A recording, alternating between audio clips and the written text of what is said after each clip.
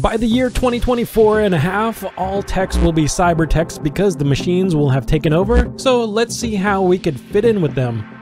The first thing you want to do is right click in the media pool, find new fusion composition, hit create, and then you could double click on that. I've got one open already, so I'm going to use it.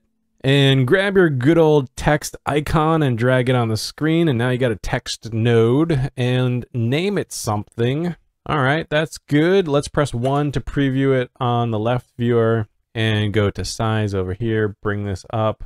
There's a free font from dafont.com. It's called Viper Squadron. Find our font, type in VI, and I see it down here. Now, there is a regular version and a solid version. I'm to go with the solid version. Now it's a little big. I'm to go to the size and just give ourselves some little breathing room there.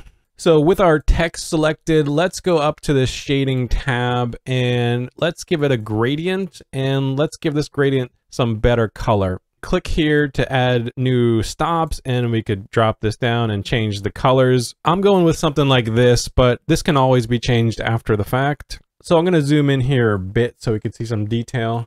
I'm using a free plugin. It's called Krokodove. You could get it from Reactor. Hold down shift and spacebar EXTR.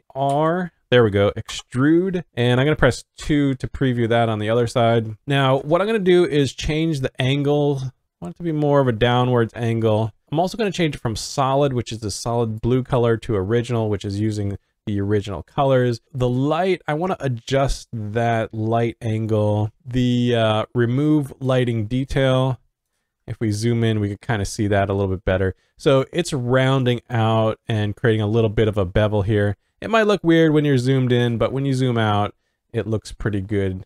Select the extrude, shift spacebar, A-U-T-O-D, auto domain. So auto domain, let's preview this by pressing two. So what this does is it gives you a crop without having to use a mask. And I'm going to adjust this slider until I see, okay, this is adjusting the left. So you could probably guess what the other ones do. I'll double click that just to reset it. All right, so I'll bring the bottom up and I'll bring the top down. And now we could merge this with this by clicking the output of the text and dragging it to the output of the auto domain. And we get this merge. Let's make this look a little bit nicer. Selecting the merge and pressing 2 to preview it. Now let's set the apply mode. I'm going to go from normal to linear dodge. And now I'm basically going to repeat this process and I'm going to do that first by holding down alt and dragging on this line. I'm going to now take the output of our text, drag it back onto the merge, and we got another merge. We got this auto domain already, so I'm going to press Control C, click off of it, press Control V, and now we've got the same thing as before, but I can hold on shift and drag it onto this line here. All right, let's keep things nice and neat if we can. And let's press two to preview that. Now for this auto domain, I'm gonna click this button to reset everything. And I'm also going to press two to preview it by itself and I'm going to adjust the top down, something like that. Now I'm going to press the merge and press 2 to look at that. And also, we don't have the extrude, so copy this extrude, Control C, deselect everything, press Control V, and then hold down Shift and drag to pop it in there. And for our merge, let's change the blend mode. Something like screen will work. And let's get a bigger view here. All right, and using that process, if you want one more, you could do the same thing as we did for the bottom, but you could do a top layer, but I'm gonna leave this as it is. Let's make an instance of this text for a bit of variety. So select your main text, press Control C, press Shift, Control V, so now you got an instance and we see this green line lets us know that it is indeed an instance. So let's take merge 11, press one to preview that on the left select our instance, press 2 to preview that on the right. I want a different font, but these are connected because they're instances, so I have to de-instance the font. So right click on the font name here, click on de-instance. Now you have all the freedom in the world. And I'm gonna use another free font from dafont.com. I love it so much, I'm using it twice. It's this font called Mightyenne Cremeuse. Making sure our instance text is selected, click on it, I'll type M, All right, there it is. Our text here, it's a little bit wide. I could adjust the tracking, but if I do for one, I do for both. So I got to de-instance that, right click on tracking, de-instance. I'll worry about making this perfect later. I also have an issue where this overlaps. If I want that, I can keep it. If not, I could go to shading, click on blending, set this to solid, and it's all merged together. I'm going to leave it at composite because I kind of like the extra detail in there. Okay, so I want to add a mask to this and I'm using another Krokodove node. So if you have that, you could do this or you could skip this step, but I'm going to hold on shift and space bar and type in L-I-N-E-S. And you could recreate this lines effect without the Krokodove plugin, but it's just really easy to do it this way. So I select the output, click and drag it onto the blue mask icon and in the lines option, I'm going to set this number of lines to one.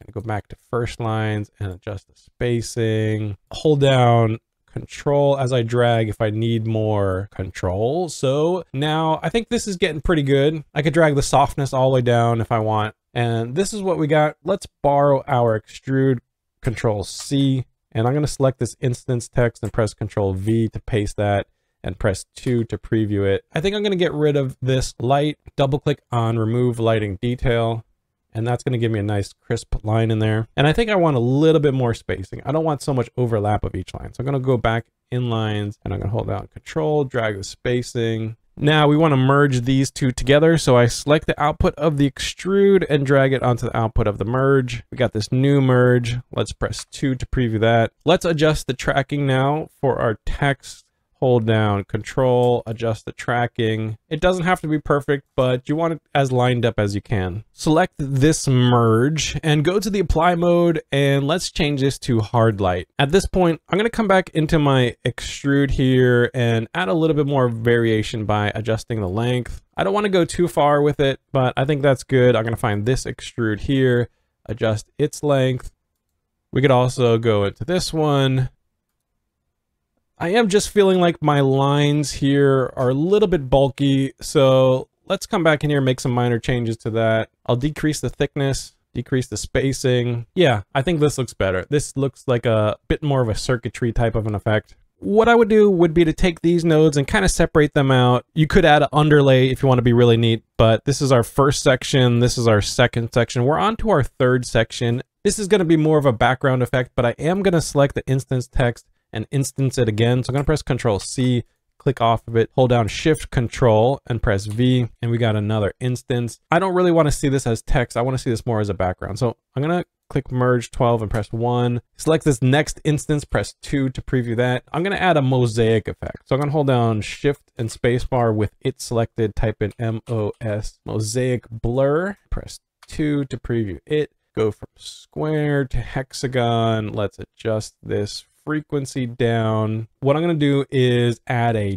TV effect here. So with mosaic blur selected, shift space bar, TV, press two. I don't know if I want noise, at least for now. Let's turn it down and go to scan lines. And you want to zoom in here because sometimes it's hard to know how this is working. I think we could go up, let's bring this, and then we can adjust that. So you see, you get them bunched up really close or spread out Maybe we'll skew it a bit here. Let's switch over to this roll bar section. So bar offset moves this area up and down. We got this bar size and strength. So now I'm going to take TV3, click its output and drag it up to our previous merge. With our new merge, I'm going to press 2 to preview that. And the TV effect is on top. I want to flip it so it's on bottom. So control and T, and now our lines effect is on the background, and everything is looking good. But if you want glowing reviews for your motion design and title work, you're gonna wanna throw some glow on here. Okay, so we'll select our merge and press shift space bar, GLOW. I'm gonna go with this glow with the three little dots. Press two to preview that. So let's take a look at some of these settings here. I'm gonna adjust HV ratio. And when you do that, you're gonna get these nice streaks coming out there horizontally. And you want to show those off, so click this gain and drag it up till you gain the look that you want. Also, you can adjust the gamma and the saturation. And you got this relative spread for red, green, and blue find the colors that work for you. We got a nice kind of refracted light effect going on. I'm going to click on the one viewer and I'm going to add one more final glow, selecting this glow, pressing shift space bar X glow. You could use any glow for this. I'm going to use X glow. It's a free plugin. You could get it from Reactor. I just like the way this works and I like the saturation controls for it. Let's press 2 to preview that. So this is just an overall glow. It is very glowy.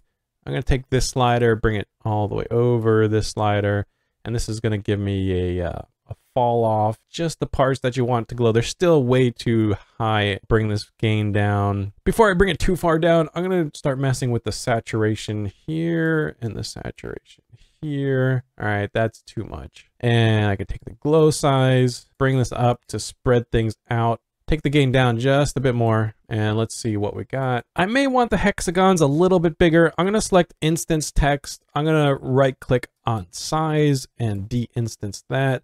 Let's see what happens when we bring this up. All right, so we're getting more. I'm going to go to mosaic blur, frequency down just a bit. And you probably won't be surprised that if you come back to your original text, everything is still live so some things you want to do maybe for effects is come to this auto domain, start messing with some of these sliders, animate them. If you mess with your extrudes, maybe even coming to your lines and changing the angle.